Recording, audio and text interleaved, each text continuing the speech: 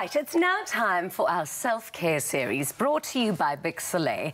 Every society in the world exists within a set of guidelines and rules to facilitate and harmonise coexistence. Now, these are posed as a set of values and beliefs, and life coach Anerene Rossouw is here to help put into perspective the importance of both. Welcome to the show. Thank you. Hi. I mean, I love this topic of discussion Firstly, because sometimes when you look at how uh, what's happening in the world, really, and how people believe, I always say, oh, it seems as though the world is in a state of moral decay. So to get to that, well, we're getting there. What exactly is the difference between values and beliefs? Right. Um, let's start off with the belief. Okay. A belief is an acceptance that something is. Okay, okay, so that something can be anything. Yeah. And I'm going to give you an example.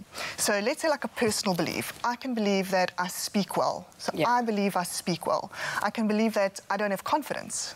Yeah. We've also got global beliefs. So we can believe that all South Africans like rugby. Yeah.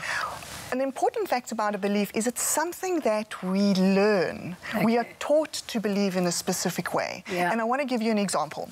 So let's say that when you were little and whenever you were upset, your mom said to you, oh, come darling, let's just go get some ice cream. Yeah. In your mind, you're going to be thinking, okay, whenever I'm upset, all I need to do is get ice cream. Ice cream's going to solve my problem. Yeah. And that's not really the oh, case. that's maybe where it all went wrong in life. it becomes a belief. Yeah. So values are a little bit different. Values is all about what's important to me. Okay. What I feel is important. And a value is something that you really are not able to live without. Yeah. So a belief is something that you've learnt throughout your life. Yeah. And a value is something within that you can't live without. These are one of those topics of conversation that I love to overthink because if you consider the perspective of religion. One person will believe that, another person will believe that, another religious group will believe that. All of them are true in those that believe them yes, and in exactly. the minds and, minds and hearts and souls of those who believe them. What other kind of belief is there? So how do we differentiate and kind of, uh, how do we get along if our beliefs are different?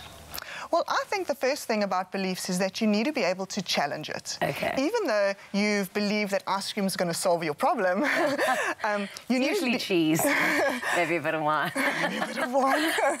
you need to really challenge that belief yeah. to say, is it really serving me? Yeah. You need to look quite deep and get that answer to it. Yeah. Um, so to be able to loosen a belief or to um, like debarrel it, to yeah. find almost like a new belief, what you're going to do with that belief is you're going to add doubt. Yeah. You're going to find ways to doubt that belief. Yeah. And then you're going to add a new belief. So going back to the ice cream thing, instead of saying, you know, oh, ice cream, I believe that ice cream is going to make me feel better. Yeah. That's why I'm going to eat it. You can say, next time you're upset, you're going to say, actually, I don't need ice cream. I've got this. Yeah. You know, this is under control. Yeah. So what happens, I mean, do people all need beliefs within a community and within a societal structure? And what happens if someone has no values? What does that mean? I think that's actually impossible because oh, everybody... Oh, you should truly... meet my boyfriend. Not one value there. I probably loved that one.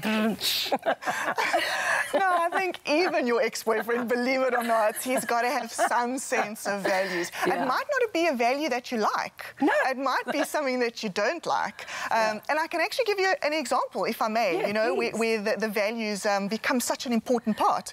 So let's say we've got person A and person B. Yeah. And person A values is like love and connection and commitment and conversation, where person B's values are success, power, achievement, go-getter. Okay, yeah. so now person B contacts person A and says, Hi, listen, I'm not going to make dinner. Don't wait up for me. I'm really, really busy. I've got this deadline. It needs to happen. Yeah. Person A is going to hear, You don't love me. The relationship's in trouble. There's nothing that you want anymore. You're not prepared to talk yeah. to me. So they're going to be stressing out. Yeah. Now imagine if person A had person B's values. The answer would be, Don't worry, honey. You go get it get the promotion, get whatever you want. Yeah. Because they've got the same values, yeah. there's an understanding. I suppose the secret to life is literally just to just take time for yourself then. Figure out what your beliefs and values are because then maybe perhaps you can compromise. Exactly. And, and accept and understand somebody else's. Yes, Thank I you so much for being here today. Thank you. so it's our belief that it's your time to shine. So listen up because you stand the chance to win a Bic Soleil product hamper filled with all of the essentials to keep you looking and feeling your best. All you have to do is visit the Afternoon Express page, reply to the competition post by telling us what do you do when taking time out for yourself during the day, and you could be our lucky winner. So VAS rates apply, T's and C's apply. Visit afternoonexpress.co.za to find them. Oh, Make this summer your time to shine with Bic Soleil.